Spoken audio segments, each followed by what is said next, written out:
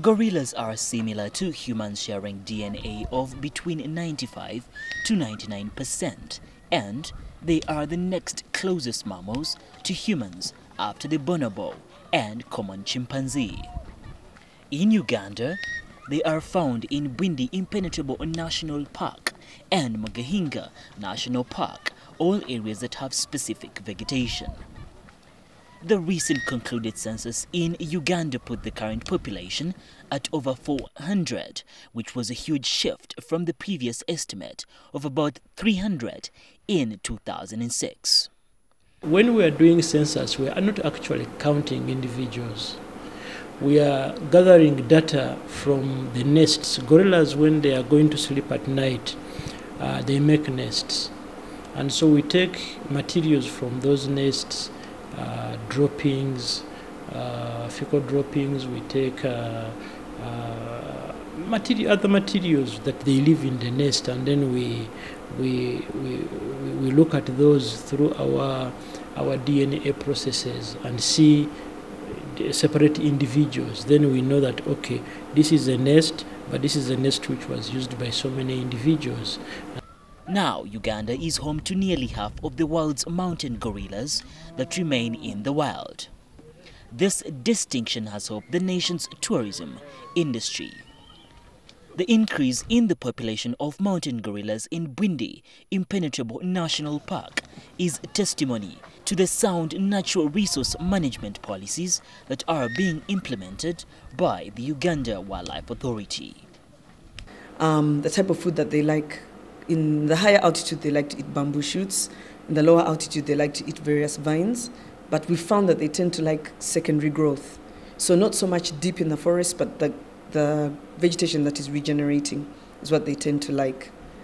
They're not such fruit, so much as fruit eaters, but the Bwindi gorillas eat more fruit than Virunga because Bwindi gorillas are at a lower altitude than Virunga. Because of these stable conditions, the space that is covering the forest is now shrinking by the day. Recently, the Nyakagezi group that had crossed over to Rwanda just returned and has been sighted in the country. And since the gorillas live in groups, they sometimes cross over into the communities in search for food as they go along.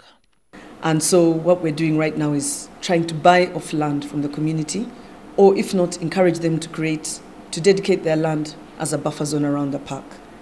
Gorillas are often coming out to eat people's bananas, matoke.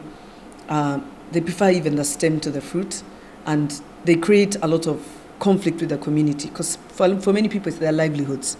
This follows diseases that have since attacked the wild animals in the past because of the close similarity in the DNA.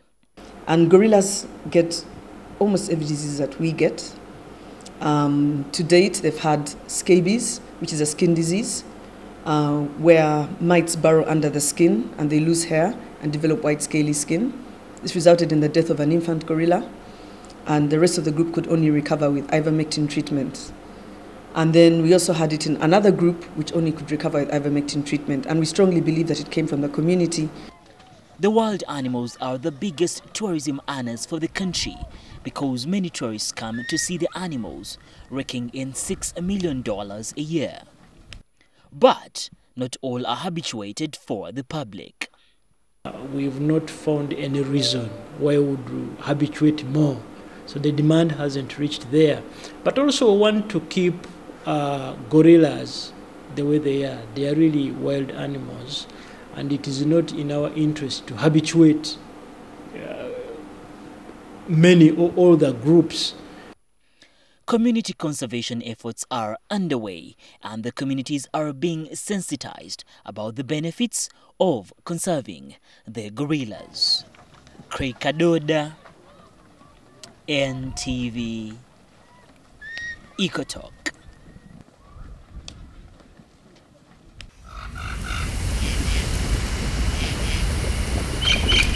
Thank you.